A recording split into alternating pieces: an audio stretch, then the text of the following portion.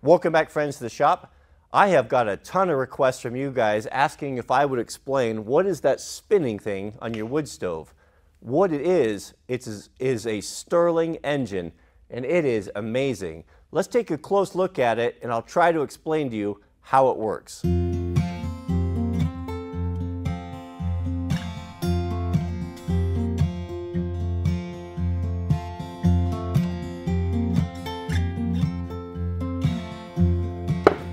Right, friends, I'm going to do my best to explain in, in, layman's terms so I can try to understand it myself how this engine works.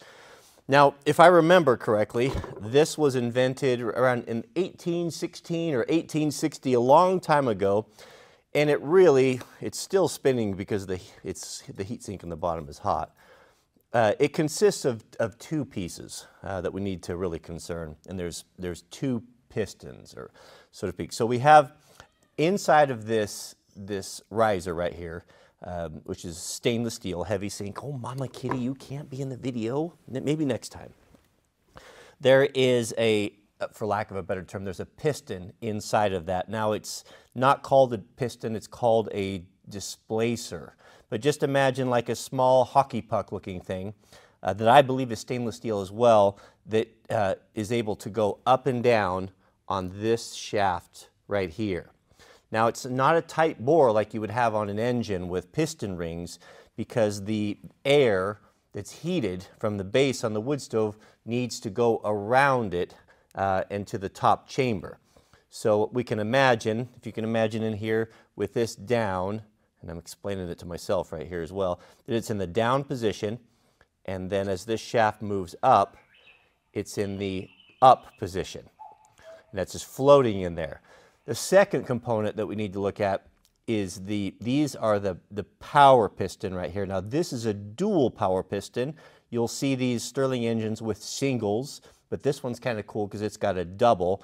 Probably just gives it a little bit more power. Now how this works is in the down position, imagine that hockey puck down there, this, is, this base is being heated by the wood stove right? There's a temper temperature differentiation, and we know as, as air is heated, it expands. As the air expands, it starts to float, float up past, put, I guess, pushing this piston up, and then as that pushes, pushes up, now we've got a temperature variation, and the, the, the pressure is being lowered, you know, like, it, it like, um, I'm kidding. I'm in deep over my head here, man. Professional homeowners are not, uh, they're not used to explaining physics. Uh, I thought I understood it until I get to this point right here. But uh, anyway, so there, these pistons right here are connected with a, with a little hole that go in there.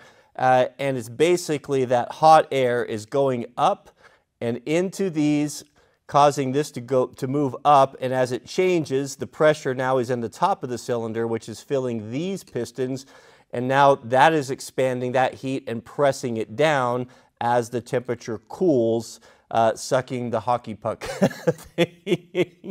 back down. And you see we've got these heat exchangers here, these fins, just like you would have on an air-cooled engine, because we, the, the, that difference between heat from the top to the bottom is important. The cool up here to the heat, you know, it's always exchanging. As it's exchanging back and forth, it's pressing and causing this thing to function. So if you're not more confused than when we started, then I will be super surprised. you can go watch someone who knows. Uh, anyway, let's come in here close and just look at the beautiful build of this uh, gorgeous Warp 5 Stirling. I may not know what makes it go, but I do know a beautifully built piece of equipment when I see it. And this is absolutely gorgeous. Uh, as I said, this is made in the UK, handmade uh, by Warp 5, hand assembled, and just absolutely gorgeous. This is a an heirloom item, something that's going to last a, a, lifetime if you take care of it. And it's so, it, I, have had so much fun and it just enjoy having it. I mean, the first thing anyone that comes into the shop that sees it, uh, they, they walk over and, and ask about and comment it. It's, I just find myself stopping and just staring at it because it's so fascinating uh, just to watch it, watch it go. Now this uh, is activated, it'll start turning at about 120 degrees. So if you have a soapstone stove like I have here, uh, it works great. I notice that the hotter it gets, the faster it turns. My stove doesn't get particularly hot, but I think it maxes out somewhere around 400, between 4 and 500 degrees is, is what they recommend. Stainless steel on the base. It's a heavy, really nice built thing with the stainless uh, the, the, diffuser or displacer, I guess, inside. You've got these uh, aluminum heat sinks on here. And just, I hope you can see it and appreciate it here from the, from the pictures or from the video, just the quality and the attention to detail. Looks like we've got some sort of a high temperature nylon on the crankshaft here. There's a brass counterbalance right there that they've put on there.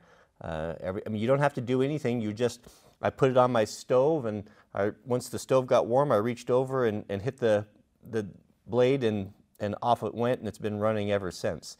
You've got these uh, clear plastic like cylinders right there, and this material looks like a graphite, but when you just look inside at the bearings, you've got brass connecting rod or wrist pins. Um, it's, it's just absolutely beautifully made and something you would, I, it's, hard to, it's hard to explain it until you, you've seen it uh, in person and, and just, I, I really, really enjoy it. It's very quiet too. It's, I was concerned that it might uh, make noise and I would have, wouldn't be able to use it in here when I'm, you know, wanting good audio and shooting video, but it's so quiet that you can't even really hear it. I mean, this, the buzz of the lights is actually noisier than this is. It almost runs silent. And it moves, I think it said almost 500 cubic feet of air. So actually, you know, these things are not just for aesthetics, they're, they're functional as well in that the fact if you can move or circulate air away from your wood stove, it means you have to, you can shut your wood stove down earlier. It, it's going to produce, you know, it's going to distribute, mix your heat in your house better. You know, I don't know to, to a great extent, but every little bit helps. Uh, isn't that a beautiful thing? Going to make sure I don't touch it. It's still hot, that base. Very heavy. It feels like the whole base is solid. But isn't that pretty? The blade on it looks kind of like a blade you'd have on a uh, on an old car. You know, it's an old old fan blade. But man, oh man, that is really really nice, isn't that? so it did come with a little globe here, and they recommended uh, to use this uh, just to keep it clean.